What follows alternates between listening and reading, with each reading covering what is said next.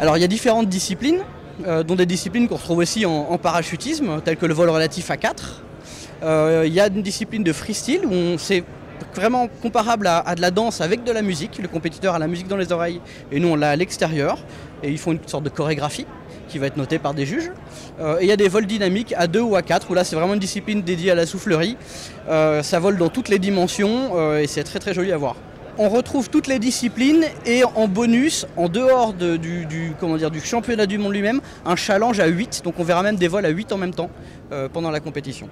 Euh, bah, on a eu la chance d'être sélectionné euh, par la FAI. Euh, on avait candidaté avec la Fédération française de parachutisme pour l'obtenir. Et, on a été choisi, donc c'est un, véritable honneur.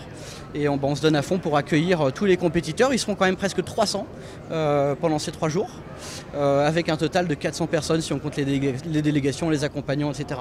Donc c'est un super bel événement qui en plus sera retransmis en live sur YouTube pendant, tous les trois jours de la compétition. Jeudi, vendredi et jusqu'à samedi fin d'après-midi. Euh, en fonction des disciplines, le temps de pratique, le temps d'exercice varie, mais par exemple pour le vol relatif, ils sont jugés sur 35 secondes.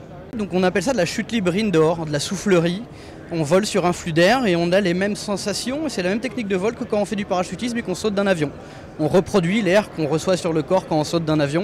Là on le reproduit dans ce tube, qui est un des plus gros au monde, euh, qui fait 5,2 mètres de diamètre et une quinzaine de mètres de hauteur. La vitesse du vent va varier en fonction euh, du gabarit des personnes. Hein, on peut démarrer à 100 km/h jusqu'à 300 km/h. On fait voler des enfants avec peu de vent et on fait voler des adultes qui se mettent tête en bas ou debout avec 280 km/h de vent.